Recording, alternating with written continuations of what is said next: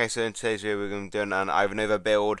Um, just general thoughts on her, how you should mod her, you know, use her, is she worth the resources and all that sort of shit. So first of all, she looks pretty cool, Easter Bunny theme. Um, collateral 2, always fun to have. Now her Adrenaline Rush, points of pound of flesh, sorry. Dealing an attack of 350% damage, up to 2 targets, that's pretty good.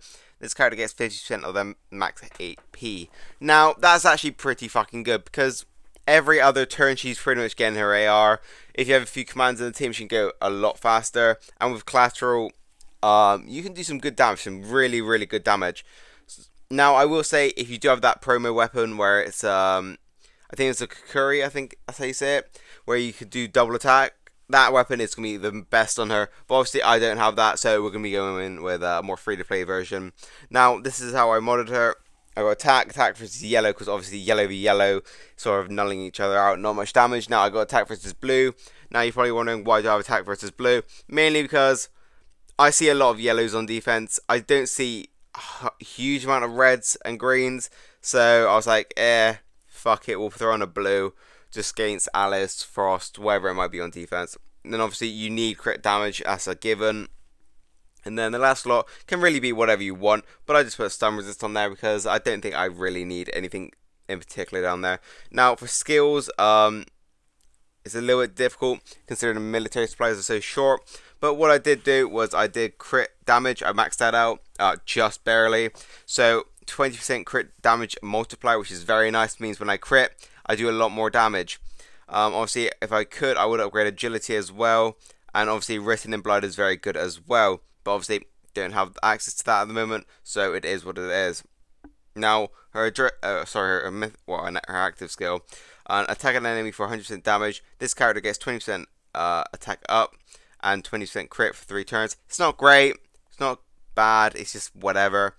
Now, for her weapon, uh, obviously I didn't keep that shit that was bound on her weapon. I instantly swapped that bitch off and what we'll be using is actually this. So 46% attack, Earl fucked me on that one, surprise, surprise. Very large to AP when attacking. Uh, 8% because obviously, you know, extra AP, it's always nice to have, and a little bit of extra HP. And then I got a crit expert or whatever you call it on it. Turns this character's base crit to 100%. So basically, every single time she hits, she is critting. Meaning, collateral 2 is 100% going to happen every single time I attack which I think is going to be the best of her considering she is a collateral too. Now, we'll move on to the team build part of the video where I'll be using multiple teams and going over my reasons for using which toons and how I'm attacking. Okay, on to the next bit of the video. It's this team we're going to use first. Standard, 1635, then you got the um, the 100% crit expert, then you got strong attacks on Wayland, splash damage on Sandy, and then 1535 absolute defense axe on Kelly. Now here we go. So pretty standard defense, got standard weapon. So we'll use Ivanova first. And then that's pretty good damage, you ask me. And then obviously we don't get another splash there, which is unfortunate. And then come turn two, we can use the um, the active skill there, and then pretty much just finish up like that. So this team, not really anything special. It's purely just uh, have fun. It's a splash team. Now we'll go in one more time. This team, and then See, 100% of the time it's going to splash. See, and then a double splash. Kind of fun team. Nothing too crazy. And it does finish fairly quick, although these aren't exactly great teams. Um, so yeah, it's not bad. It's not great. It's just a fun team. Now, I will be showing you some more, uh, a faster team after this. But when we use faster teams, it always comes with the risk if it doesn't end fast, you're fucked. Like, you're really, really fucked. So, we'll do a few more raids with this team, and then we'll swap over to the other team, and then, uh, yeah, we'll go from there. So, I'll cut now, and then we'll come back when we find an actual team.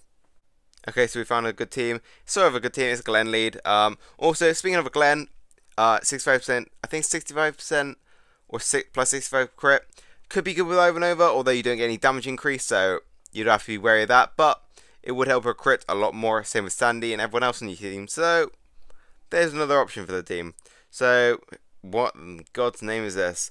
Right, and then down the middle. So, it does do good damage. It is really good damage, I must say, but would I use her on, like, my main attack team, maybe I would have to do a bit more testing and I'd sort of need some extra characters to help me out.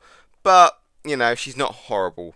So, as you can see, double splash can be fun. Javier lead might be fun as well. So we go down the middle, and then yeah, even with 50% um, debuff, it's still not doing anything to my team. It's still completely rolling. So yeah, we'll, we'll move on to the next team because I I think I don't think we're gonna get much more results um, with this team. So we'll swap to the main the other team now. Standard team 1535. Ivanova still a crit expert. Tyrese has an 8% and the rest of the team has 8%. Uh, one of the Ricks has strong attacks. So uh, yeah, we're just going to go with one basic here and then we'll just go down the middle, get a good bit of damage going. Then Tyrese will get his little rush from his manic ability. Now we shouldn't have went down the middle first, but that was my mistake. Um, but ultimately, it doesn't really matter because this team will pick it off re really, really quick. And as you've seen there, Ivanova got a rush second turn. But the thing is, uh, Tyrese just smashes through these teams very fast. So going to do it one more time. Good bit of damage there. Nothing too crazy. Obviously, if we did go damage versus red, we could do a lot, lot more damage there um, than we than what we did.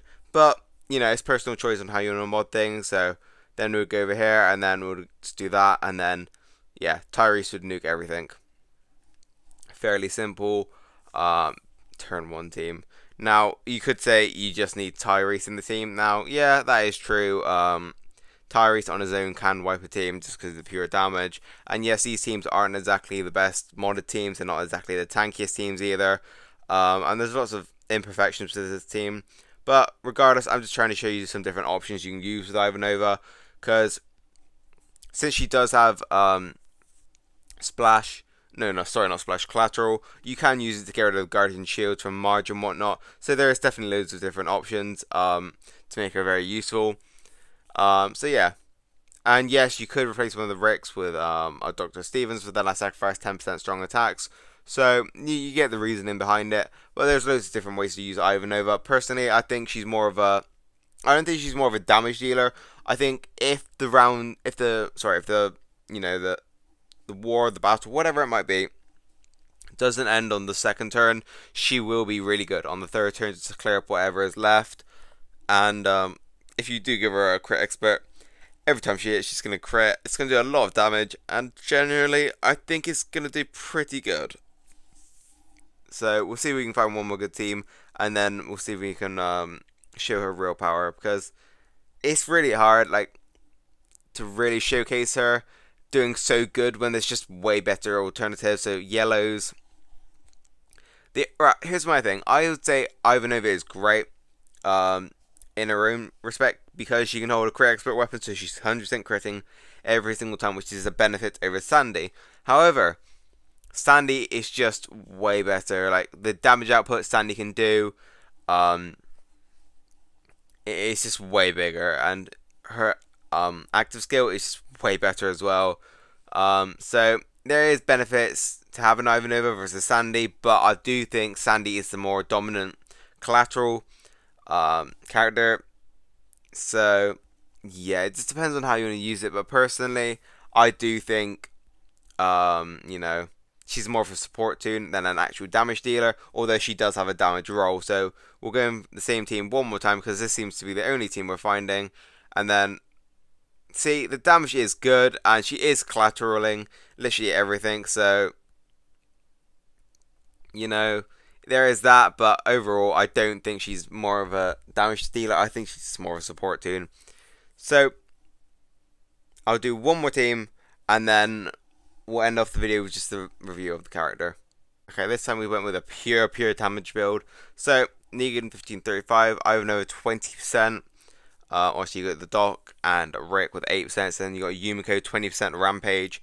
And then, uh, yeah, we'll see. We'll see how much damage we can really do. So first of all, we get the uh, obviously we get the AP going. Now this team isn't great. It's not bad, but we'll just showcase some of the damage Ivanova can actually do when she rushes.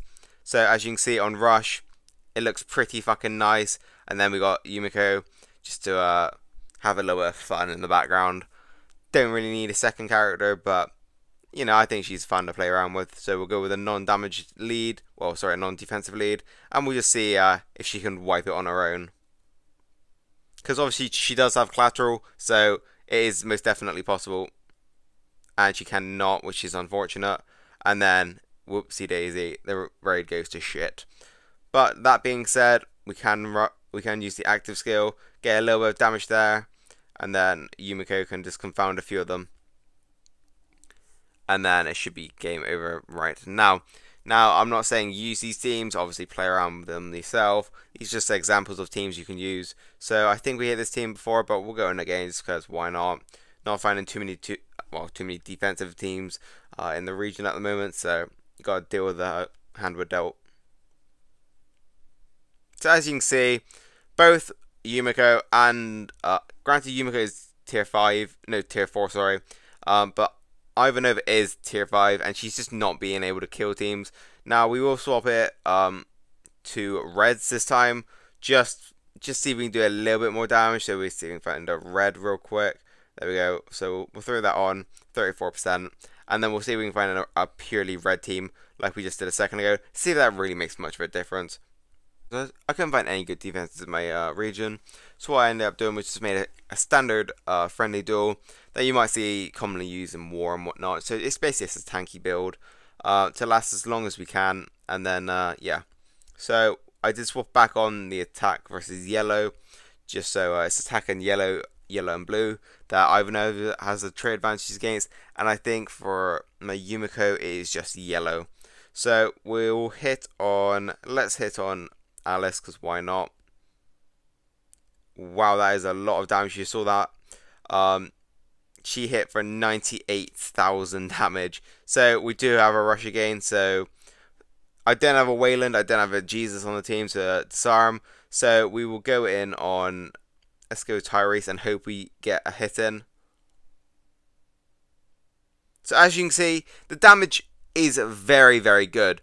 So Granted, it is every time I hit is me a crit, but that being said, the damage output is pretty fucking good for you know what I would consider a not damage heavy toon. I've seen her on defense with Halo, which can be very annoying, but overall, like her damage output is very nice. But I just think at the moment there's better characters that can do a lot more damage, and obviously, you know, you are limited by what you can bring in. Now we will um, going against this team one more time to see if we can get a, a better outcome. Okay, so we're back in again. Now, granted, everything on this team has absolute defense minus Alice, so that hence why we're going in on Alice first. So 16k, 15k, not bad, not horrible. We did get two people down to nearly, well, no health, so it's not horrible damage. And then we'll use Yumiko um, to confound some people, and obviously she doesn't do too much. So, like I said, I don't really consider her a damage dealer. I like the rush, you know, I do think there is potential for her, but personally, I just don't think she is fast enough or can do enough to make raids fast, well, faster for you. As you know, you got Tyrese, you got Sandy, you got all these toons that just do so much better and do so much more. So, would I say level up Ivanova? Yes, but that is if you don't have a Tyrese. That is if you don't have a Sandy. That's really if you don't have many attacking teams. Because I know she has an attack role, but personally, I just don't think she's good enough, um, or has enough going for her to make her viable um, on attack teams. But for defense, with the Halo act, well, the uh, Halo activation percentage chance, not bad, not bad. It is definitely worth playing around with. Um, so overall, I'd, I'd grade her like decent, not great, not bad, a very okay character. She's good for getting rid of shields. Um, she can be fun in the double splash team, but yeah, she's just not fast enough. And overall, I just don't think she does enough damage for a damage dealer. So hope you guys enjoyed and uh, like, comment, subscribe. Discord link in the description. And uh, yeah, peace out, boys.